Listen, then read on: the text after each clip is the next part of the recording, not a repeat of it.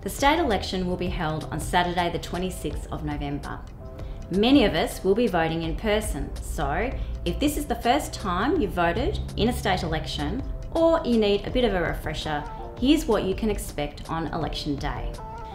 We will ask you for your name and address. You don't have to bring ID to prove this. Then we ask you if you've already voted in the election. This is something we have to ask to make sure people aren't trying to vote more than once. We will confirm your electorate with you and mark your name off the roll.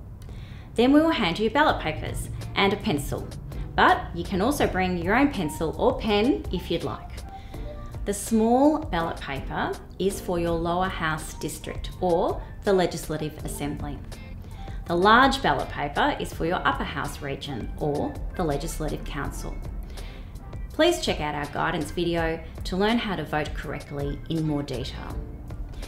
We'll direct you to a voting compartment so you can fill out your ballot papers in complete privacy.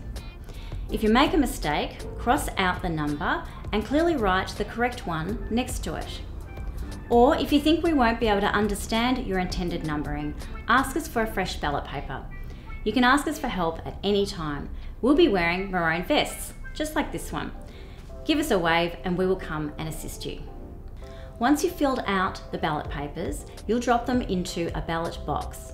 There's one box for the lower house ballot paper and a different box for the upper house ballot paper. You can also come to a voting centre with someone you trust, like a friend, family member, or carer, and they can help you fill out your ballot papers the way you ask them to.